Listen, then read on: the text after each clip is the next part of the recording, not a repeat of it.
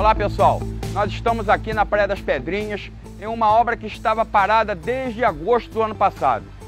Determinei ao nosso secretário de Desenvolvimento Urbano, o Júnior Barbosa, para que fizesse os estudos para retomar essa obra imediatamente. Hoje, contamos aqui com a presença do Alisson, que é um empreiteiro responsável aqui em dar reinício a essas obras e com a proposta de entregá-la pronta ainda nesse primeiro trimestre.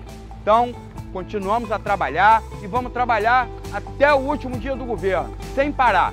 Gonçalves, parabéns!